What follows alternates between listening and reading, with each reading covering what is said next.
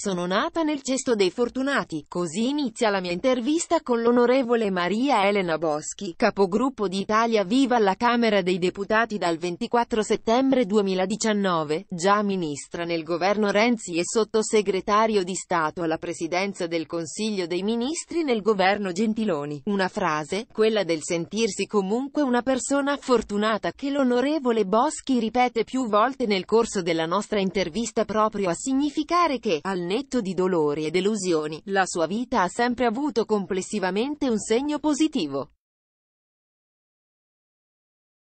Onorevole Boschi, le cronache riportano, durante il giubileo del 2000, di una giovane Maria Elena fervente cattolica, presente a Tor Vergata durante la giornata dei giovani.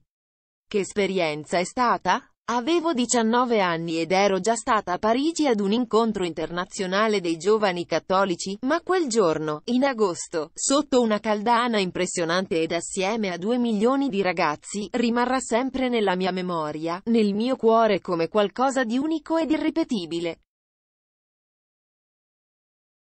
Camminammo per mezza giornata a Roma e poi arrivammo a Tor Vergata, in attesa della veglia e della messa con Papa Wojtyła.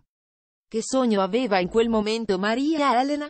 Erano sogni semplici di una ragazza di provincia cresciuta con un'educazione cattolica. Volevo laurearmi in giurisprudenza che era la facoltà che avevo scelto, sposarmi ed avere una famiglia.